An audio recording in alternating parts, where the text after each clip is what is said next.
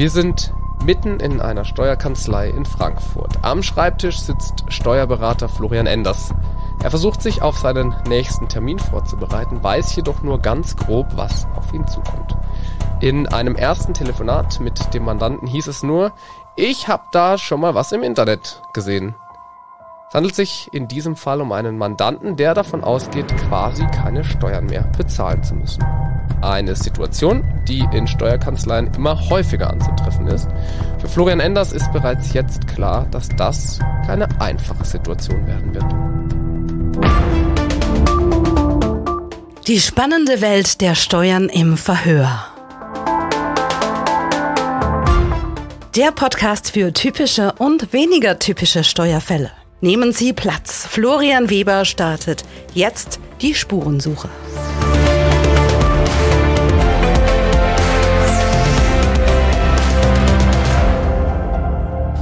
Florian, Florian Enders, Wirtschafts-Allrounder und Steuerberater in der Kanzlei Schiedlo, Enders und Tietze. Herzlich willkommen. Danke, dass du wieder dabei bist. Hi, danke. Wir sprechen darüber, dass ich keine Steuern mehr bezahlen muss, Florian, heute. Warum muss ich das nicht mehr in Zukunft? Ja, es ist ja, es ist warum solltest du überhaupt? Ne? Also so können wir ja eigentlich starten. Ähm, ja, es gibt äh, viele, ähm, die über Social Media und YouTube und Co. Ähm, Kurzvideos äh, bekommen, wo ganz groß gesagt wird, 0 bis 15 Prozent, du mhm. zahlst so gut wie keine Steuern mehr. Und du kannst das ganz toll und ganz richtig machen. Ich kenne die Videos auch und äh, bekomme die auch immer wieder angezeigt. Das ist ja, wird ja auch mehr angezeigt, je mehr man solchen Content dann auch äh, konsumiert. Und deshalb habe ich mir dich heute eingeladen. Ich möchte nämlich schon auch verstehen, wie ich genau das machen kann, dass ich keine 15, äh, keine, keine Steuern mehr in. Ich möchte nicht gern 15 Prozent einfach so zahlen, aber dass ich keine Steuern mehr bezahlen muss. Fangen wir mal ganz vorne an. Was ist denn dran an genau diesen an genau diesen Videos, die sowas versprechen? Also man muss so ein bisschen unterscheiden. Ich kann es sehr gut nachvollziehen, dass äh, du diese äh, Videos gezeigt bekommst, weil ich finde es ja auch aus beruflichem Interesse immer spannend. Das heißt, mein Algorithmus ist schon komplett kaputt. Ich kriege nur noch solche Videos. Ähm, ja, kann man, kann man, äh, kann man immer wieder lachen und gleichzeitig aber auch gut finden, wie auch immer. Man muss so ein bisschen unterscheiden zwischen denen, die wirklich Content preisgeben und das auch kostenlos. Da gibt es bei YouTube einige ja, Steuerberater, mhm. ähm, ich nenne sie jetzt Textfluencer, die da ähm, sachlich auch richtig Dinge wiedergeben. Ja? Mhm. Ähm, da merkt man aber, es ist weniger reißerisch und nicht so dieses äh, High-Level, du hast jetzt in 15 Sekunden gerade gesehen, dass du 0% Steuern zahlen musst. Ähm, mich hat es natürlich interessiert, weil ich so meine drei, vier, fünf Ideen habe, wie man sowas aufbauen kann. Ähm, muss man immer sehen, ob es für Mandanten sinnvoll ist, aber wie das geht und habe auch bei dem einen oder anderen mal ein kostenloses äh, Erstgespräch äh, einfach mal gemacht. Habe mich nicht als Steuerberater geoutet, wollte einfach nur hören, was da so ein bisschen verkauft wird. Und ähm, das war sehr, sehr unterschiedlich, was da rauskommt. Ähm, sehr häufig ist es aber die Thematik, dass man sich das Konzernsteuerrecht mit der Gründung einer UG ähm, nimmt. Das ist auch etwas, was ich häufig berate, mhm. weil ich es in der, in der Konzeption gut finde. Ähm, nun muss man eben sehen, für wen passt's und wo dieses 0 bis 15 Prozent ist sehr reißerisch. Es stimmt, aber es ist wie mit dem Kleingedruckten. Ähm, man muss halt sehen, wann passt's und wann tritt das wirklich überhaupt in Kraft. Das heißt aber, das ist jetzt grundsätzlich erstmal keine falsche Information. Es kann durchaus Situationen geben, wo ich als Privatperson mir genau dieses Konzernsteuerrecht zunutze machen kann. Ja, absolut. Und, ja, und das, und das, das genau der Fall. Ähm, es wird halt mass oder es wird versucht, massentauglich zu machen. Ähm, bei manchen Gesprächen merkst du, da heißt es, hey, ja, das können wir alles machen. Bist du bereit, 15.000 Euro in die Hand zu nehmen? Also das erste ist, du brauchst schon einen Erstinvest, der nicht so niedrig ist. Normalerweise kannst du äh, dir so eine Struktur, wenn du sie im Kern haben willst, mit realistisch anderthalbtausend Euro aufbauen und nicht mit 15.000 Euro. Ähm, man muss aber der sehr stark ähm, differenzieren, wofür es wirklich gedacht ist. Und ähm, manche werden damit gelockt, dass sie sagen, ja, äh, ich habe ja ein Gehalt, ich bin Arbeitnehmer und wenn ich da jetzt plötzlich keine Steuern mehr für zahlen muss, das wäre ja super. Ähm, das ist aber nicht der Fall. Also in solchen Konstellationen klappt es nicht. Man muss schon genau sehen, für welche Fälle und für welche Personen ist das sinnvoll. Ja. Mhm.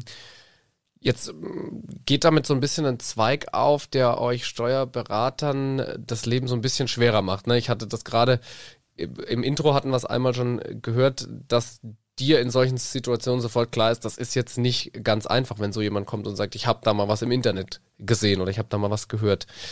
Meine Frage ist an der Stelle, warum, wenn es doch möglich ist, warum macht ihr Steuerberater das nicht auf eine seriöse Art und Weise, um dem einfach entgegenzuwirken und zu sagen, hey, wir können das Gleiche machen, aber eben auch günstiger? Es ist eine sehr, sehr gute Frage. Ähm, über die wir, glaube ich, stundenlang auch diskutieren können. Aber der Hauptpunkt für mich ist, äh, den ich sehr oft wahrnehme, ist, dass der Steuerberater vom Bild her damals ähm, sehr stark als Steuerverwalter äh, wahrgenommen wurde.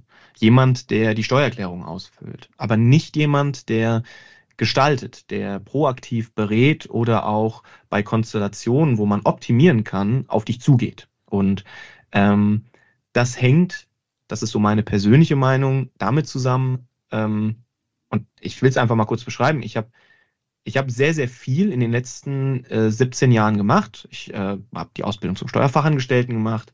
Ich habe BWL studiert und abgeschlossen, damals noch als äh, dann Diplom-Betriebswirt. Ähm, ich habe den Steuerfachwirt gemacht. Ich habe das Steuerberaterexamen gemacht. Das heißt, ich habe die Schiene des, ich sag mal, der, der, der BWL und des Studiums genommen, aber genauso auch diesen, diesen Weg der Berufserfahrung mhm. ähm, über die Steuerberaterkammer. Und da muss man ganz ehrlich sagen, ähm, wirst du in deiner Ausbildung zum Steuerberater sehr, sehr stark auf den Ablauf und das Handling ähm, hin trainiert, wie ein Finanzamt das tun würde. Es ist wenig gestalterisch, sondern es geht im Kern um, das ist der Content, das ist das Gesetz. Ähm, und das Gesetz wird so und so umgesetzt. Äh, da gibt dafür gibt's Urteile und so weiter. Aber bis du wirklich ähm, mal gestalterische Punkte wahrnimmst, wo du sagst, hey Leute, guck mal, äh, das Gesetz sagt es so, aber hier gibt's ein Thema, da könnte man so und so beraten. Ähm, das, das ist Learning by Doing. Das ist wirklich Learning on the Job. Ähm, und du musst dafür ein richtiges Interesse haben, das auch zu wollen. Und ähm, das haben viele Steuerberater nicht zwangsweise, weil sie es aber auch nie mussten. Mhm. Also äh, das war früher eine ganz andere Situation. Früher, und das merke ich, wie gesagt, ich bin in Kanzleien seit 17 Jahren.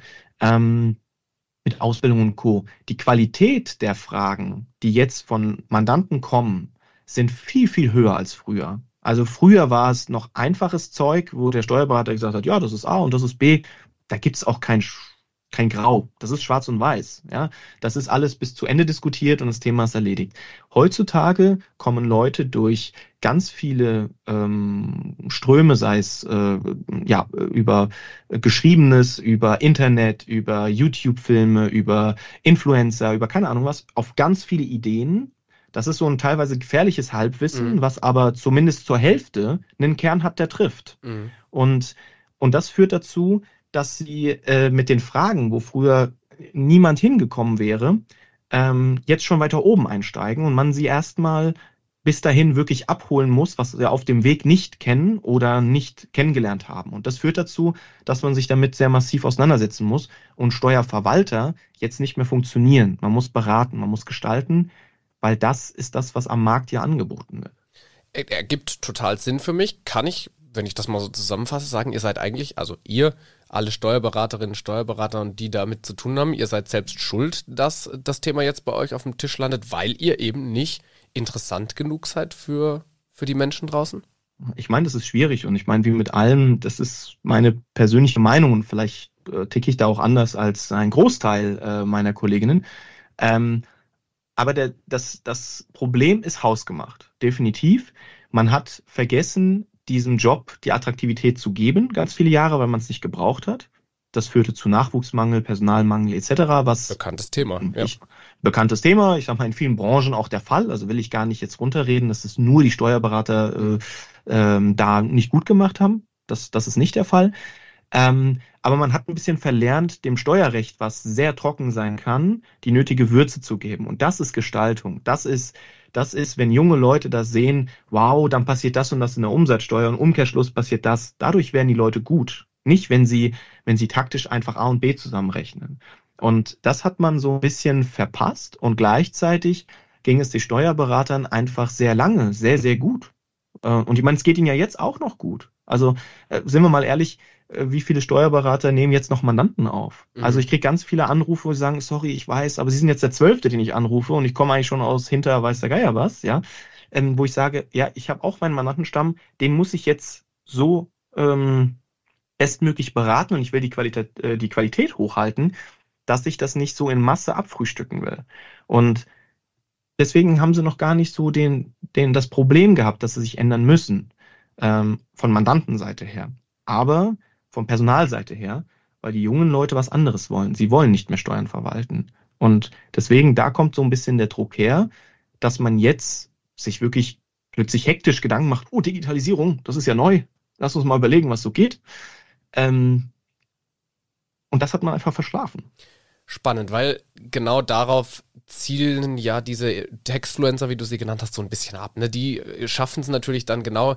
Ich, du hast, glaube ich, in einer Insta-Story beispielsweise 15 Sekunden Zeit. Bei TikTok hast du auch nicht viel Zeit, das zu vermitteln. Aber die schaffen ja genau das. Ne? Die machen irgendwie einen interessanten Case auf und sagen, hey, 0 bis 15 Prozent, einfach um beim Beispiel zu bleiben. Super cool das ist das, was, wenn ich dich jetzt richtig verstanden habe, Steuerberater noch nicht so einfach schaffen. Sicherlich einerseits, weil die Zeit fehlt und andererseits aber eben auch, weil man es anders gelernt hat und da noch nicht noch nicht genug gestaltet.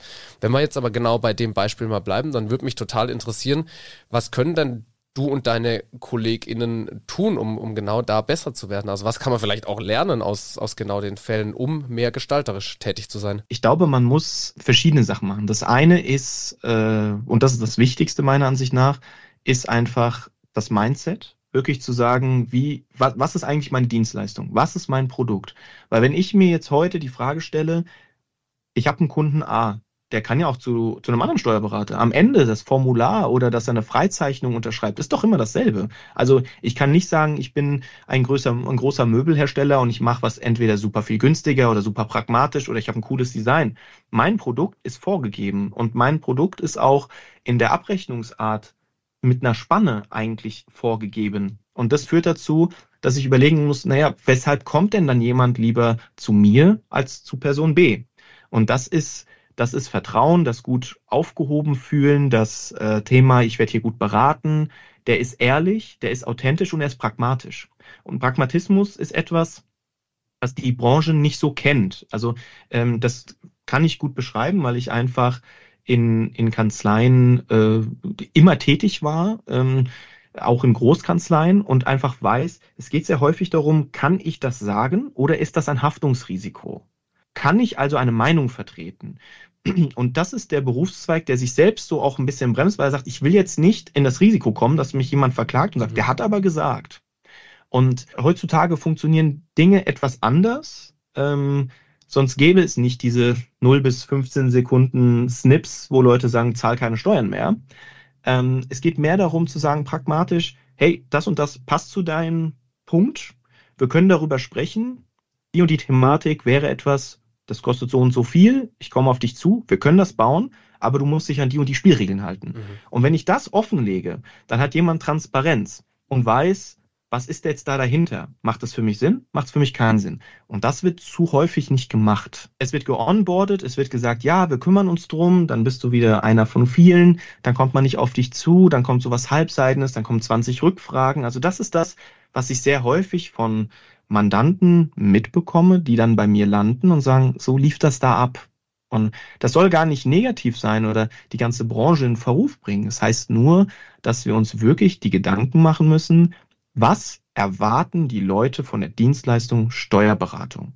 Und das ist das große äh, Ziel, was man, was man angehen müsste. Und das finde ich wiederum sehr spannend. Jetzt gucken wir nochmal auf diesen Fall, den wir eingangs hatten. Zu dir kommt jemand ins Büro, der sagt, ich habe da schon mal was im Internet äh, gesehen. Dann macht dir das natürlich initial wahrscheinlich erstmal einen, einen höheren Aufwand, weil jetzt musst du dir erstmal angucken, was hat er denn da gesehen? Was von dem, was er gesehen hat, können wir möglicherweise tatsächlich anwenden. Das heißt wirklich so dieses Thema Onboarding. Da musst du dir Zeit nehmen, aber schöne Botschaft, die du da gerade gesendet hast, das lohnt sich, weil du am Ende dafür das Vertrauen bekommst. Du wirst dem sagen, können oder müssen vielleicht auch, naja, komm mal, also das mit den 0% haut nicht hin, aber der und der Aspekt, der könnte möglicherweise für dich interessant sein. Und das ist ja wiederum dann genau das, wenn ich dich jetzt richtig verstanden habe, wo man sagt, jetzt sind wir in, in genau der Gestaltung. Also wir, wir haben nicht die Möglichkeit, 0% zu machen, aber es gibt vielleicht gerade so in, in Sachen Konzernsteuerrecht die ein oder andere Möglichkeit, die wir für dich als Privatperson auch nutzbar machen können. Absolut. Und äh, das ist genau der Punkt. Ähm, das ist nur ein Erstaufwand. Und wenn du erstmal die, die Standardmodelle kennst, und dafür brauchst du wirklich nicht viel Zeit, du musst dich nur ein bisschen damit befassen, dann siehst du, dass du dich dann nicht mehr mit dem Video von eben Einzelnen, was er irgendwo mal gesehen hat, auseinandersetzen musst. Du kennst die Grundsystematik, die verkauft wurde. Und du weißt, ist er jetzt einem Schlechten auf den Leim gegangen? Das ist leider sehr häufig der Fall. Da ist wenig ähm, echte Sache dahinter. Das ist Marketing. Ähm, da sind viele Leute dann enttäuscht und sagen, hey, ich habe das gemacht, ich habe ein Riesenproblem. Mhm. Ähm, allein eine Gesetzesänderung zerbricht mir mein gesamtes Konstrukt ähm, und, und ich habe ein riesensteuerliches Problem dann tatsächlich. Ähm, und auf der anderen Seite gibt es dann die wenigen, aber wirklich guten, äh, die man kennt und wo man dann weiß, ja, der wird wahrscheinlich so das und das gesehen haben, den und den Bereich für sich abgesteckt haben. Ähm, und dann kommt man ins Gespräch. Und allein die Tatsache, dass ich dann grundsätzlich weiß, was äh, die Leute in ihren Videos erzählen, führt dazu, dass der Mandant weiß, ey, der, der nimmt mich ernst. Ja, es, es ist jetzt nicht so, ist nicht Müller oder Meier, es ist egal, wer da jetzt sitzt, sondern das bin ich und es geht um mich. Und das ist genau der Punkt, den ich am, den ich am Anfang mhm. sehr schnell dahin lenke, dass ich sage, diese Modelle passen nicht für alle. Es gibt sicherlich für sie ein passendes, aber das müssen wir jetzt eruieren und deswegen erzähl mir mal von dir. Was machst du denn eigentlich? Und dann kriegen wir vielleicht sogar was ganz anderes hin. Beziehungsweise wir wissen einfach, das und das passt nicht. Machen wir uns nichts vor, da ist natürlich auch der Aspekt Zeit einfach eine Rolle. Du hast das selber ja, spielt der Aspekt Zeit eine Rolle. Du hast das selber ja angesprochen. Die Auftragsbücher sind voll. Es ist nicht so, dass das euch langweilig wird, aber, und das vielleicht nochmal so zusammenfassend, das ist ja irgendwie dann das, wo man sich auch überlegen muss, kann ich das gerade noch machen? Oder muss ich das Mandat vielleicht auch ablehnen? Dann ist das eben so. Genau, aber wenn man äh, sagt, man, man macht das, man nimmt das Mandat an, Mandat an, dann ist eben das Mindset eine wichtige Sache, habe ich verstanden bei dir. Dann eben das Thema Onboarding und dem Mandanten eben das Gefühl zu geben, ja, das passt und ich nehme mir jetzt auch die Zeit für dich. Absolut, genau das ist es. Und wenn ich jetzt mir selber vorstellen würde, ich gehe in fünf bis acht Jahren in Rente, ähm, dann habe ich wahrscheinlich nicht mehr die große Motivation, mir sowas anzuschauen. Mhm. Ähm, aber wenn man in der Branche drin ist, wenn man merkt, was passiert mit dieser Branche, wenn man merkt, wer an welchen Stellschrauben dreht und das, was die Steuerberater gerade überlegen, was noch ihre Tätigkeit eigentlich ist, was sie so klassisch immer wieder auch erwähnen, Buchhaltung, Lohn und, und so weiter, dann werden diejenigen, die noch 10, 12 Jahre arbeiten müssen, sehr stark überrascht, äh, was so in den nächsten fünf bis acht Jahren tatsächlich passiert. Und am Ende sind die, die ich nicht ernst genommen habe, die ähm, äh, mit Ideen kamen, ja, diejenigen, die äh, irgendwo Geschäftsführer sind. Das sind diejenigen, die Startups aufbauen mit, mhm. mit äh, teilweise wirklich mehrwertbringenden Produkten in irgendeiner Form, wo man gerne ein Teil von sein möchte und mitberaten möchte, dass die Sache groß wird, aber man sich selbst vielleicht im Weg stand, weil man gesagt hat, das brauche ich nicht. Mhm. Und das ist langfristig so ein Thema, was ein Mindset angeht, zu sagen, okay, ähm, ich muss mir die Frage stellen, was, was macht mein Job in fünf bis acht Jahren mit mir? Und ähm, ich bin relativ stark davon überzeugt, ähm, dass wir, ich sag mal, in 2030 zum Beispiel eine ganz andere Steuerbranche vorfinden werden, als wie es jetzt der Fall ist. Sehr, sehr schön nochmal zusammengefasst, äh, Florian. Ich bin hier heute rein, habe diese Fallakte aufgeschlagen mit äh, so ein bisschen mit dem Gedanken, jo, wir müssen mal gucken. Es gibt da so ein paar Influencer, die irgendwie so ein bisschen fies unterwegs sind, wenn ich es mal, ja, so ein bisschen, weiß gar nicht, wie ich es ausdrücke da, aber äh, also fies im Sinne von, das ja, ist, genau, ne? es ist ein bisschen reißerisch, es ist lockend und das hat natürlich so eine Marketingmaschinerie dahin. Wo wir aber hingekommen sind, und das finde ich für diesen Fall ganz spannend, ist, darauf zu gucken, dass das vielleicht gar nicht so schlecht ist für Steuerberaterinnen und Steuerberater. Man muss nur eben was draus machen und, und für sich selbst klar haben, okay, ich gucke mir den, den Individualfall an und schaue es mir dann an. Das finde ich eine eine für den Fall wirklich spannende Entwicklung, weil da kann man natürlich sagen, hey, auch sowas hat irgendwie einen Vorteil, weil man als Steuerberaterin oder Steuerberater dann eben wirklich ins Beraten reinkommt und genau das auch machen kann. Absolut. Ja, und wir sind in dieser Steuerbranche immer reaktiv gepolt gewesen, auch in der Ausbildung. Es ist etwas passiert und wir müssen anschließend steuerlich das beurteilen. Und die Idee ist eigentlich, dass man sagt, es kommt jemand oder hat ein Problem. Und da müsste eigentlich jede Fragestellung gefühlt aufhören. Und dann müsste man sagen, jetzt leg los und werd tätig.